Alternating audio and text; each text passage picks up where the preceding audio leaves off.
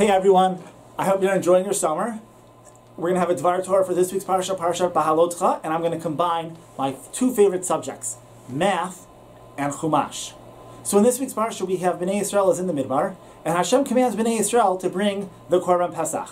Rashi points out that this is the one time in the Midbar, in all 40 years, that they bring the Korban Pesach. If you think about it, there were 600,000 families, at least, in Bnei Yisrael at that time. And each family had to bring a Korban Pesach, which is a lot, a lot of Korban Pesach that they had to bring. If you also think about it, at that time, there were only three Kohanim, Aaron and two of his sons.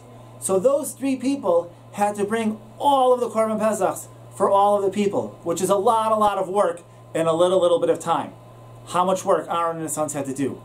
Also, in the beginning of this week's Parsha, we have the Leviim taking place of the firstborns to do the work in the Mishkan.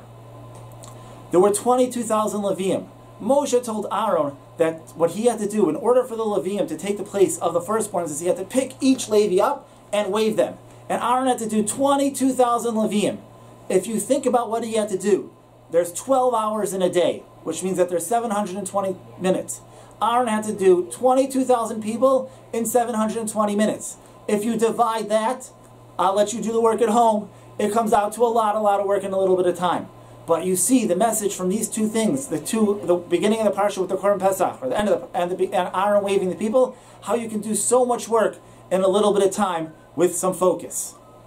Hope everyone's having a great summer.